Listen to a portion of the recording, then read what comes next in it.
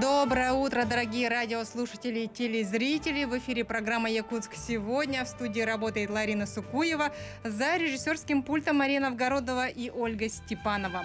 На календаре 2 июня, среда. И сегодня в нашем выпуске мы поговорим о кишечных заболеваниях наших детей, ведь эти напасти чаще, чаще всего встречаются именно в летний пери период, а во время купания в водоемах, игр в песочнице и так далее.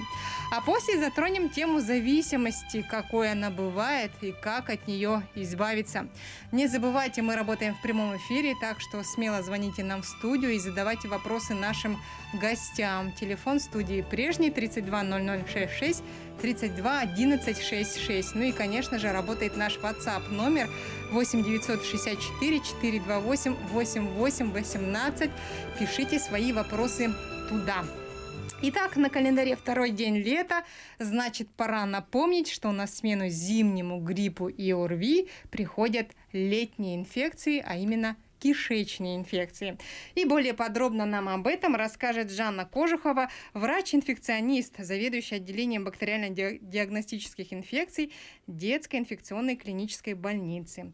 Жанна Витальевна, доброе утро. Здравствуйте. Что такое кишечные инфекции в летний период и чем они отличаются от зимнего периода? Ну, все кишечные инфекции – это острые инфекционные заболевания, Э, которые э, желудочно-кишечного тракта, которые проявляются общей интоксикацией, куда входит лихорадка, повышение температуры, слабость, вялость. И э, также симптомы – это диарейный синдром, сим, симптом и рвота. Э, заражение происходит в основном энтерально, то есть попаданием возбудителя в желудочно-кишечный тракт. Отличаются они, ну, в принципе, ничем. По симптоматике нет. Отличаются возбудителем. Чаще в зимнее время это вирусная кишечная инфекция, а в летнее это бактериальная кишечная инфекция. Угу. Симптомы похожие получаются. Они симптомы похожие, да. Рвота, диарея, и температура, слабость. А, слабость. А всегда ли это боли в животе? Боли в животе, да, могут присутствовать в большинстве случаев. При ага. легкой форме боли может и не быть. Получается, что способы передачи вот вирусных да, инфекций это вот воздушно-капельным путем, как вы сказали, да, а кишечные это чаще вот как-то бытовое, да? Любая кишечная инфекция это может быть либо водный путь, либо пищевой, либо контактно-бытовой. То есть, если не соблюдать меры предосторожности, когда болеет в семье ребенок, например, да, э, не мыть часто руки, обработку не делать, да, то, скорее всего, могут и заболеть родители от ребенка mm-hmm. той же кишечной инфекции вирусной. Как предотвратить тогда все это, чтобы не заразиться от ребенка? Это единственное мыть руки. Единственный путь профилактики – мытье рук. Угу. Вот вы сказали, что можно заразиться через воду, то есть э, только вот едва попив э, не кипяченую воду, можно заразиться вот кишечной инфекцией. Ну, или... не так утрированно, конечно, прям попил и сразу заразился. Нет, если имеется там какой-нибудь возбудитель, а возможно. Если, а если ребенок искупался, принял ванну? Ну, есть вероятность и такого пути заражения. Он тоже может заболеть. Угу. Вот сейчас многие летом едут в поход, едут в районы на дальние расстояния, да. Угу. А вот какие продукты правильнее с собой взять с собой, ну, в дорогу, да, чтобы не отравиться, не заболеть? Ведь через продукты тоже можно, да, заразиться, заболеть. Да, ну, единственное, в, в дорогу лучше брать не скоропортящиеся продукты. То есть это молочные продукты, не лучше не брать э, сметана, что-нибудь в этом роде, да. А можно взять, например, вареный или запеченный картофель, овощи, сухофрукты, а, любые другие фрукты, которые можно помыть в дороге, да, кипяченой водой той же печенье, соки, обязательно воду. Яйца некоторые сваренные вкрутую берут. Ну, если они взяли и тут же недавно их быстро съели, то ничего. Но если они сутки пролежат на жаре, конечно, лучше их не есть. Ага. А защищает ли вакуумная упаковка продукта? Сейчас многие вот упаковывают вакуумную угу. пленочку, да? Насколько вот она эффективна? Она эффективна. Она же вакуумная без кислорода. Эта упаковка, она защищает продукт от э, разрастания, от тех бактерий, которые развиваются вот с кислородом. К тому же она защищает э, от обсеменения того же продукта микроорганизмами или, например, от насекомых, тех же мух, да, которые могут тоже являться переносчиками инфекции. Угу. Так, у нас поступил, э, вижу, поступил WhatsApp вопрос. Угу. Сейчас, минуточку. Скажите, Тут мама, видимо, спрашивает.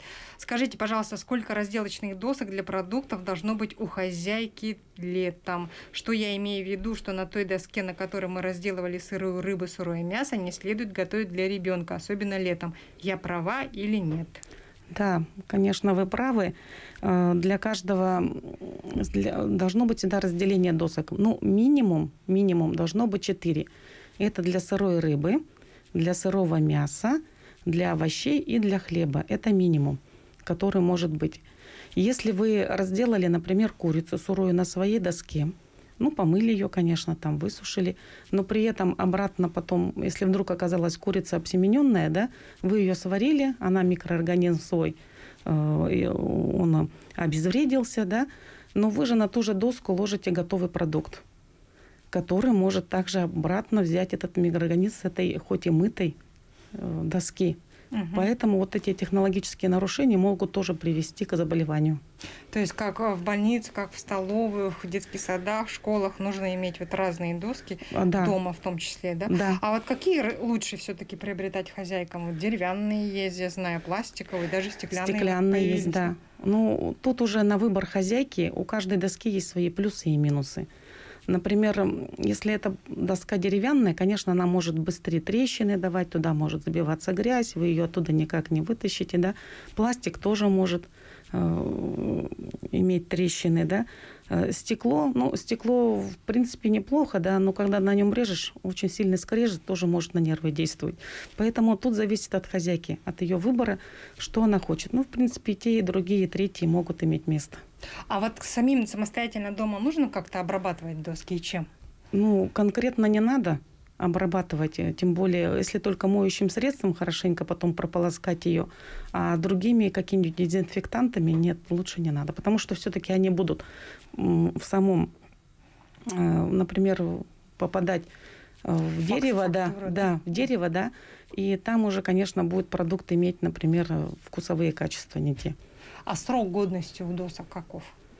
Срок как годности. Нужно менять? Да, да, в принципе, надо их менять ну, в зависимости от износа. Если совсем, то лучше поменять. Угу. Так, вот если заболел в семье ребенок или, допустим, взрослый член, член угу. семьи, да, чтобы вот избежать вот заражения других членов семьи, достаточно, получается, просто тщательно мыть руки. Да, ну и желательно, конечно, для ребенка, чтобы была своя посуда. Угу. То есть своя посуда, не надо, и вот его покормил ложкой, попробовал сам ложку, дал ему изо рта в рот, это тоже как бы не гигиенично и э, к лучшему не приведет. Угу. А чем вот кормить ребенка, вот если он заболел кишечной инфекцией, пусть даже в легкой форме, вот чем лучше кормить ребенка? Э, в основном эти продукты все-таки механические, химически щадящие. То есть отварные, паровые, какие-нибудь э, протертые там тефтельки, да, взять суфле какое-нибудь приготовить, да, вот в этом платье. Ну, конечно, не фрукты, не соки, морсом, вот эти продукты нежелательно. Угу. А вот в каком возрасте детки чаще всего вот подвержены и чаще всего как-то ну, сложнее переживают кишечные инфекции? А, если говорить о вирусно-кишечных инфекциях, то она в основном в большинстве случаев у детей с нуля до трех лет. Более старший возраст, они могут болеть и вирусными, и бактериальные, хотя бактериальные бывает и у детей даже до годних. То есть сальмонеллез, например, тот же, тоже такой же может быть. А вот насчет купания, да, вот в каких водоемах лучше всего купаться? В бассейнах или в открытых водоемах, вот чтобы избежать, опять же, вот бактериальных ну, кишечных инфекций? Ну, в принципе, можно и тех, и в других купаться. Главное, чтобы они были под наблюдением. То есть они должны быть облагорожены, за ними следит фильтр. В бассейнах должно быть фильтры установлены специальные, чтобы очистка воды была. Водоемы, которые, они желательно, чтобы не были застойные, они должны быть проточные. За ними тоже должен быть, э, следить за ними в плане того, что брать пробы из воды, что там и что есть. Если написано купаться запрещено, то лучше, конечно, туда не надо идти. Угу. Ну, то есть в нашей дамбе купаться можно. Ну, когда вот уже официально... Официально есть... открытие, если есть, там, да, там уже все уже сделано, то можно купаться. Много, а, часто так бывает, что вот когда дети отдыхают в лагере или уезжают к бабушке, да, на какой-то период родители страшно скучают, потом закупают полные сумки продуктов, вот и, ну, откармливает, грубо говоря, mm-hmm. да, своих деток. Вот что в этом случае нельзя, что можно, вот, и как-то, может, дозированно? Да, в принципе, можно побаловать ребенка, но, естественно, надо знать меру. То есть, если мы купим ему 2 килограмма этой черешни, и он ее все съест, конечно, это будет не так хорошо для ребенка, как хотелось бы. Да? Поэтому все понемножку, ну, можно. И да, иметь меру надо в плане того, что много сразу всего понемножку тоже не съешь. Если, например, мама хочет э, угостить ребенка в лагере, то есть по чуть-чуть той же черешни или клубнички. Да, но если это не запрещено еще и лагерем, потому что там есть тоже список же у них. А, да, ага, которых продукты, продукты можно, которые нельзя. Да. Согласно, значит, правилам лагеря. Угу. Да? Так, вопрос у нас в WhatsApp поступил. Как вы относитесь к противорвотным средствам? Из какого возраста их стоит давать? Можно ли давать самостоятельно? Угу. К противорвотным я отношусь положительно. Они помогают. Давать самостоятельно, э, в принципе, не рекомендую, потому что если началась рвота, не факт то, что это может быть кишечная инфекция, да? Возможно, это какая-то хирургическая патология. если мы дадим противорвотное, она может усугубить состояние ребенка. Поэтому в первую очередь, значит, врач осматривает. Если он, да, действительно кишечная инфекция, нужно противорвотное, тогда ребенку можно назначить. Угу. У нас в студии есть телефонный звонок. Доброе утро, мы вас слушаем. Доброе утро. Я хотела бы узнать. Вот моя сестра собирается в Сочи и с детьми, и э, они очень боятся ротовирусной инфекции. Можно ли получить прививку где-нибудь здесь и поможет ли она сразу? Хороший вопрос, спасибо. Ага, здравствуйте, спасибо за вопрос. Прививку можно получить в поликлинике. И детям она ставится до двух лет. Возраст ребенка какой ваш? Уже отключился? А, отключились, угу. да. То есть ага. до двух лет можно поставить, да? Да. А если старше двух лет, прививка не ставится? Да, там уже возраст не подходящий для ротовирусной инфекции. И тогда последний вопрос. Вот что нужно брать с собой? Вот какие лекарства? Дорожная аптечка, очень коротко. А, дорожная аптечка. В основном эти лекарства, ну, жаропонижающие, обезболивающие, антигистаминные идут. И а, противодиарейные в основном это энтеросорбенты, и можно регидрон взять. А также не забывать, что дети у нас могут падать, прыгать, поэтому зеленка, Пластырь. бинты, вата. Огромное спасибо за полезную информацию. Я желаю вам удачи и всего доброго. Дорогие друзья, увидимся с вами через рекламную паузу. Не переключайтесь.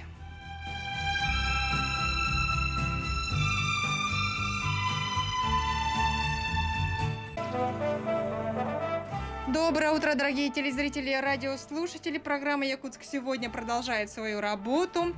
Не можете ни на минуту оставить мобильник. Таскайте его с собой даже в ванну. Снова тянет слопать кусок пиццы, да еще полчаса, как хотя еще полчаса назад вы жаловались на переедание да у вас диагноз – зависимость. О том, какие бывают основные виды зависимости у современного человека и как с ними бороться, нам сегодня расскажет психолог Лена Авелева, Центра социальной психологической поддержки молодежи и семьи нашей республики. Лена Владимировна, доброе утро. Здравствуйте. Скажите, пожалуйста, что такое психологическая зависимость и чем она отличается от вредных привычек? Или это одно и то же? Ну, можно сказать, что э, вредные привычки бывают они разные. Грызть ногти, например, это тоже вредная привычка, да. Зависимость, э, ну, это такое э, состояние больше связанное, э, скорее всего, с чувствами, я бы так сказала, да. И, ну, мы знаем на сегодняшний день большое разнообразие, э, разнообразие видов зависимости, начиная с алкоголизации, наркомании, игромании, да, сексуальная зависимость бывает у кого-то. Вот. И э, токсикомания. В общем, угу. спектр такой достаточно широкий. И вот сегодня я хотела бы поговорить вот на тему зависимости конкретно э, алкогольной и наркотической. А вообще какова причина возникновения вот этих вот э, зависимостей? Я, например, читала когда-то, что тот человек, э, которого мама не кормила грудью, он грызет ручки и курит. Вот это как-то связано или нет? Ну, психологически, может быть, да. Угу. Да. И какова вообще, какие предпосылки, да? А, конечно, проблема, она родом из детства, да, и а, вообще это семейная такая проблема, семейная болезнь, а, может встречаться даже у нескольких поколений в семье, но мы знаем об этом, да, в одной и той же семье могут страдать, например, алкоголизмом три поколения, и дед, и отец, и сын, да, и другие члены семьи, например, братья, сестры, да. Но это не говорит о том, что прямо а, повально все могут быть больны алкоголизмом, да. И, естественно, когда существует такая проблема, то э, вовлечены в эту болезнь все члены семьи. Это очень э, тяжелая такая ситуация.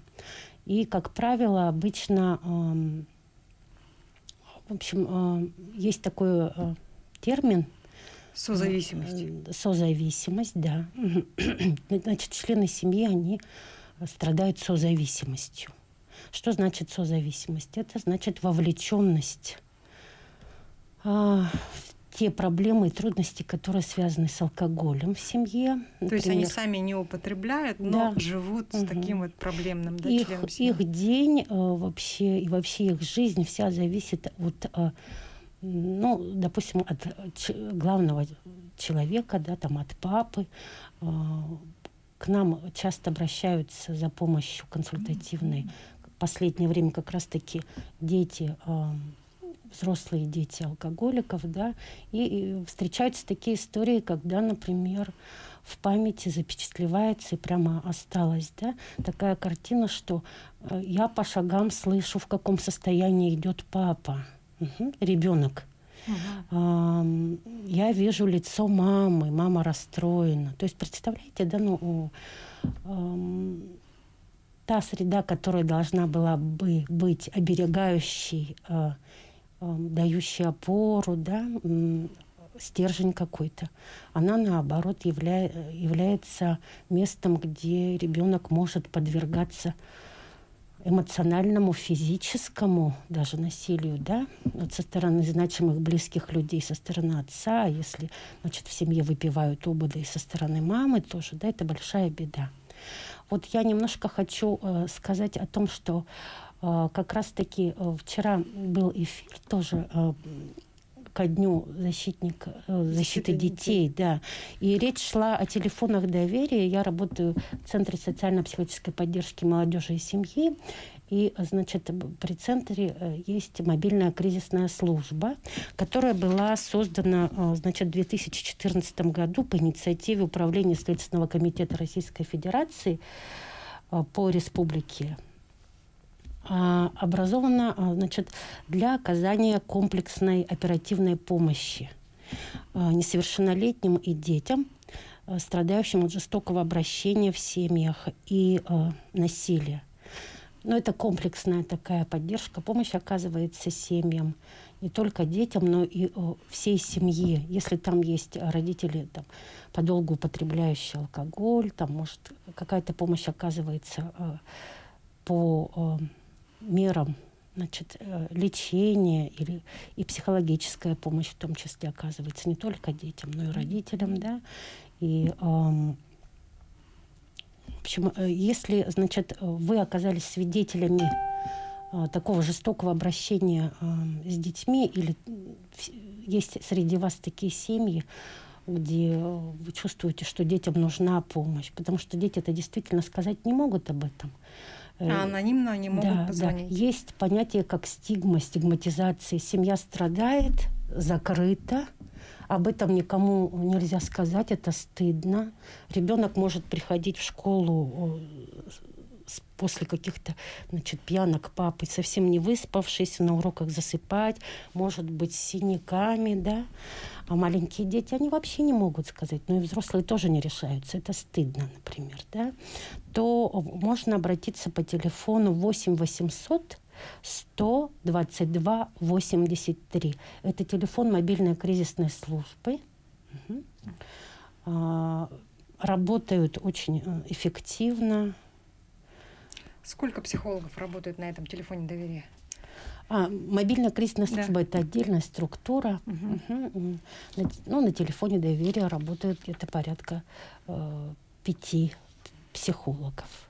А с какими проблемами вот чаще всего обращаются по этому телефону? Что-то вы можете вспомнить? Значит, телефон, он эм, не только, значит, эм, по нему можно обратиться по проблеме, касающейся вот, жестокого обращения детей и насилия, да, есть э, телефон, общероссийский телефон, который, значит, по которому могут обратиться, э, э, начиная с 6 лет до 65 лет. Мгм. Любой человек с какой-то трудной ситуацией, которому буквально не с кем поделиться, э, разделить свои мысли. А в ментальности нашего народа есть вот э, такая особенность, закрытость. Мгм.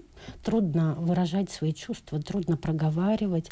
Иногда люди приходят за всю жизнь ам, не решающиеся о чем-то заговорить или рассказать, и для них это большой такой шаг бывает. И, э, значит, вот по этому телефону э, я сейчас э, тоже озвучу, да, номер, можно а, обращаться в любой момент. Часто обращаются сейчас, э, посезонно разные бывают запросы. Сейчас а, в большинстве случаев касающиеся предэкзаменационной поры Мгм. ребят, мгм, ОГЭ, ЭГЭ, очень трудно, страдают дети, страдают Родители. школьники, э, значит, родители, учителя. Здесь я бы хотела сказать, что э, родителям надо э, детям донести, что в любом случае, как бы ты ни сдал экзамен, Жизнь продолжается. конечно, да. И это И не конец это- света. Это, не конец света, да. Поэтому быть в, извините, в хорошем контакте с ребенком, да, поддерживать, ни в коем случае не давить с двух сторон там требования учителей, требования родителей, ребенок прям не знает, куда себя деть. И вот и мы в результате иногда видим вот, так- вот такие моменты, как порезы на руках и так далее, да?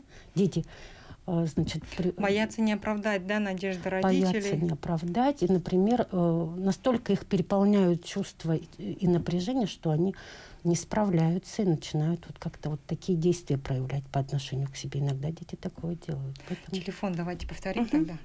телефон, по которому можно позвонить любому человеку, да, С любой вот с, любо- ситуацией. с любой проблемой, да, с любой ситуацией, которая, значит, э, тревожит. 8 800 2122. Это Мгм. те- всероссийский телефон доверия. Есть и э, республиканский номер э, 8 800 135 50. В какое время можно позвонить? Круглосуточно. Круглосуточно. В любое время можно обратиться по этим номерам телефона. Если да. возвращаясь к нашей теме зависимости, да, есть какая-нибудь тенденция, что вот эти, этому, этим порокам да, больше подвержены либо мужчины, либо женщины, или вот такой вот тенденции нет? Мгм. Ну, я бы сказала, что в равной степени, но о, проблема-то в том, что женский алкоголизм поддается труднее гораздо значит, исцелению, и женщина наиболее подвержена. А часто рядом, например, с пьющим э, мужем э, жена может постепенно-постепенно тоже значит, э, Спиваться. спиваться, да, а, для того, чтобы это начинается обычно как, чтобы ему меньше досталось, да, чтобы как-то отвлечь его внимание, как-то, а, значит, чтобы он не шумел, не кричал, не пугал детей. То есть же- женщина э, По-женски поступает. по-женски поступает, пытается, значит, сгладить вот эти острые углы и незаметно для себя, например, э, иногда бывает так, э, вылечился отец, а начинает, значит, пить мать семейства. Такое тоже бывает. Почему вот так происходит? Женщина слабее. Поч- вот от чего что вот она Ну, здесь есть позиция жертвы вообще. Это же тоже зависит от воспитания, да.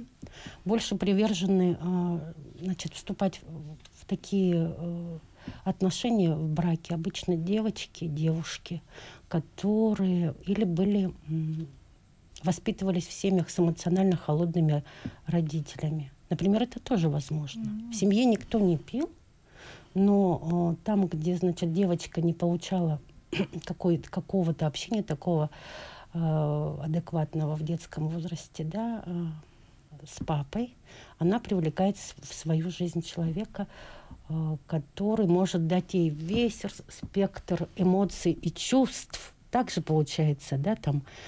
Эм, и рядом она может с таким человеком быть не потому, что вот прям такая какая-то любовь, а вообще говорят ведь о том, что мы любим те чувства, и, которые испытываем рядом с этим человеком. Когда человек все время был так в себе, закрыт, ему не позволялось выражать свои чувства, или не то, что не позволялось, а как-то. То есть любим не, не самого человека, а чувства, которые испытываем рядом да. с ним. И тогда человек чувствует себя живым, хотя это как какой-то такой парадокс, так скажем, Интересно. да? Ведь?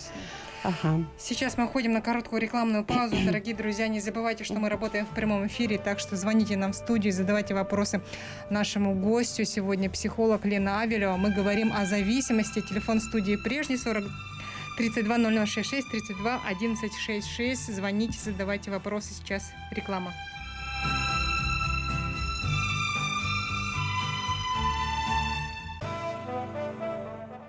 Доброе утро. Мы продолжаем говорить о зависимости. У нас в студии психолог Лена Авелева. Не забывайте, что мы работаем в прямом эфире. Смело звоните нам в студию, задавайте вопросы нашему гостю. Телефон в студии 32 0066 32 11 66. И, конечно же, наш WhatsApp номер работает 8964 428 88 18.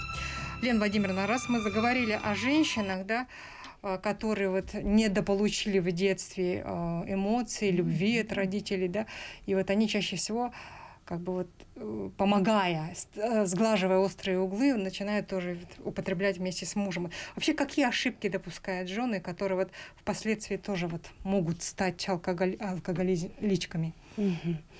Эм, здесь речь идет ну, не только о таких женщинах, часто бывает как раз-таки пример – в родительской семье становится примером для э, собственной семьи, да.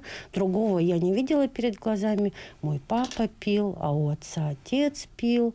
И, э, это нормально, как будто бы. Да, да, да. вот есть так, э, такое, это называется лояльность по отношению к роду, да, и повтор жизненного сценария, к сожалению, иногда мы наблюдаем когда приходит на консультацию, что это вот уже идет повтор даже иногда в третьем поколении, как я уже говорила, да. Вот, э, поэтому важно то, что ребенок видит перед своими глазами. Потому что он же не знает, он думает, что это норма, все так живут. Я и не знал, что может быть по-другому, например, говорят. Или я не знала. А оказывается, у подруги, например, совсем другая была ситуация. Папа был такой очень ну, добрый, мама. И они друг друга любили. И вот дети любят, э, взрослые уже рассказывают, да, например, э, обратившиеся за помощью о том, что в школьном возрасте, там, в начальной школе я пришел в гости, а там такая была атмосфера. Ну, в общем, они видят, что к отцу людей-то совсем по-другому бывает. То есть начинают уже задумываться дети в этом возрасте. Ну, давайте э, об ошибках, угу. которые могут совершать э, жены. Да? Ну, во-первых, вообще, э, поскольку вот проблема связана с, с потерей ответственности вообще человека за свою собственную жизнь, и часто женщины начинают брать все на себя – и материальное обеспечение семьи, да, и, эм, значит, э, все, что касается бюджета, могут утаивать, сколько они зарабатывают, стараются работать на нескольких работах часто, да. Мамы дома нет, а, а папа выпивает. Вот такая картина бывает обычно, да. Вот, и ну, жены пытаются оправдать, да, своих супругов, говоря о том, что да нет, на самом-то деле вот это вот не повезло с начальством там, да, или э, всецело себя посвящают, в общем, э, уходу за мужем, там следят, чтобы он был красиво одет, за его внешностью, вовремя его будет на работу, иногда возят на работу, даже такие случаи, да, а, ну, оправдывают перед начальством, если тут вдруг ушел в запой, там, и а, ну, скрывают от, от соседей или кого-то, даже от своих родственников о том, что происходит, да, могут удерживать дома пьющего человека. Ты лучше дома, выпить, да, куда, куда вот, куда, лучше так, иначе куда-то ты попадешь, Мгм. да. Могут сами покупать ему даже этот алкоголь, а, делать больш, большую часть работы вообще выполнять. То есть семье. получается такая гиперопека. Ну, ну да, полностью себя посвящают и в этом э, и при этом сами себя теряют ведь. В конце концов приходит усталость, и что ну, ну все.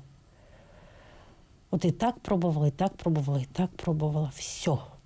Иногда вот это все бывает очень поздно. Человек может прожить всю свою жизнь рядом с пьющим человеком, да, и лет так 50 может вдруг понять, а что же это, жизнь-то уже проходит, фактически прошла, а что я видела вообще в этой жизни, да? И вдруг, ну, мы часто встречаемся с тем, что уже в достаточно зрелом возрасте бывают разводы. Мгм. И вот э, то, что пытаются сохранить семью ради детей, Если, сам- если член семьи пьет. да, да, наоборот, получается, что ради страданий в семье, что ли, ради того, чтобы дети видели это все и страдали, вот в консультациях бывают такие моменты, когда говорят, «А нам это не надо было. И, и плачут, конечно, плачут, потому что там столько, значит, э, внутри На- накипело. накипело, да, ага. А как может помочь психолог в этой ситуации? А, Вообще м, алкоголизм это болезнь замороженных чувств. Когда-то, значит, было запрещено чувствовать. Если привести пример, я могу привести такой пример а, из практики. Значит, клиент рассказывал о том, что до пяти лет все было хорошо, жили с мамой, появился папа, Мгм. ну, отсутствовал какое-то время, да. И а, первое, что ребенок запомнил, он был рад отцу, да, с мамой у него очень теплые были отношения. Папа первым делом, значит, а, ну, такого хорошего подзатыльника дал мальчику, что тот прям головой ударился. Там. Все. То есть папе было неприятно, что ли, видеть вот эту открытость и доброту мамы к ребенку. То есть папа пришел такой озлобленный в своих каких-то чувствах таких страшных, да? И выместил на ребенке, Да, получается. да. И ребенок закрылся. Ой, закрылся, да, так э, закрылся. И а, дальше э, не выражала, естественно, свои чувства. Да? Такие дети обычно очень сильно стараются в школе хорошо учиться для того, чтобы, значит, как-то эм, Обрадовать. да. обрадовать. Вот очень часто об этом говорят, что я хорошо учился, я был там лидером. Никто не знал о том, что происходит в моей семье, да. Вот. И, э, и в такой семье получается, если э, отец такой ну, достаточно деспотичный и жестокий, то э, члены семьи, они все находятся как будто бы ну, под колпаком, я бы так сказала, да. А- Они следят, что сказать, выйти, не выйти. Папа спит, не дай бог разбудить там или что-то там. Громко не говорят. Ну, то есть вот такая какая-то неволя. То есть они находятся... Под постоянным контролем Да, в то под- же время, да. да? Но это, это невыносимо ведь вот так вот проживать свою жизнь. И когда вырастает такой человек, он э, на самом деле становится очень таким наблюдательным. Он очень хорошо прочитывает чувства эмоции других людей в окружающем мире. Да? И, конечно, у него нет доверия к людям. Он всегда ждет какого-то подвоха от окружающих. Да? Он не может расслабиться и быть таким ну, непринужденным, что ли, счастливым. Ну вот вы рассказали ситуацию, тут папа не пьет, получается, да?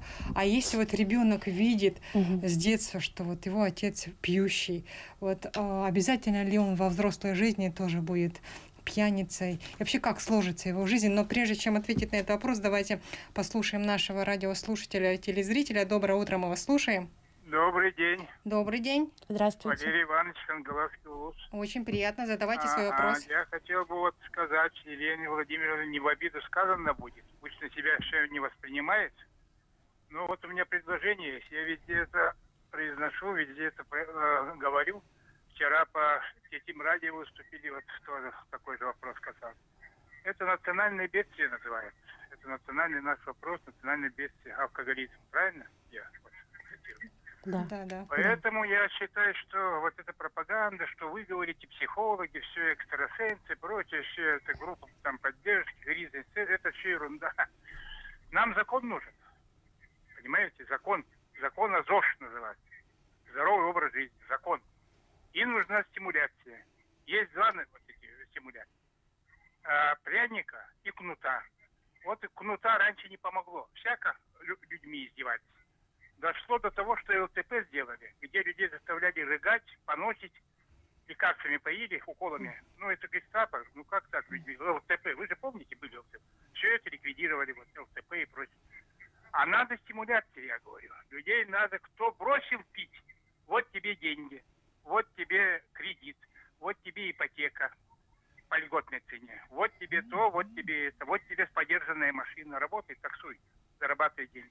Вы где-нибудь видели, что олигархи были алкоголиками? Никогда не видели. Олигарх никогда алкоголиком не был. Или возьмите ИТР Авросы, вот, и- и- и, э, инженерно-технических работников Аврос.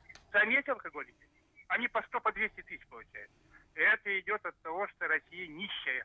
Мы все нищие. В российской деревне люди, вон как живут. Вы видите, как живут? Там только пьянка, больше ничего нет. Работы нет, ничего нет. Огромное Домов нет. Спасибо вам за ваше мнение. А, Спасибо вам за звонок. Я думаю, что. Да я согласна. э, Я с нашим Да, да. радиослушателем. На самом деле э, сейчас в сельской глубинке очень тяжелая ситуация. Да? Нет работы. А, И да, разрушено то, что было. Например, даже нету каких-то социальных объектов, нету магазинов даже. И Люди как брошены сами на произвол судьбы. И единственное какое-то развлечение это действительно, ну вот э, пьянка, пьянка. Я Мгм. согласна. Действительно ситуация такая очень тяжелая. Но вернемся, да? Да, очень коротко, у нас осталась Мгм. буквально одна минута. Вот обязательно ли ребенок, который воспитывался вот в пьющей семье, а, во взрослой жизни станет тоже алкоголиком? Вообще, как может сложиться его жизнь? Ну, э, на самом деле любой человек сам выбирает свой путь. Если даже ситуация в семье, в родительской была такая, ребенок может выбрать совершенно другую жизнь. Противоположно. противоположную жизнь. Да? Ну, конечно, надо прийти и проработать то, что здесь внутри. Для этого мы, психологи, работаем. Мгм. Что ж, огромное спасибо за участие в нашей утренней программе, за полезный разговор. Я напоминаю, что на студии была психолог Лена Авелева. На этом я с вами прощаюсь. Желаю вам удачи, хорошего настроения и, главное, здоровья.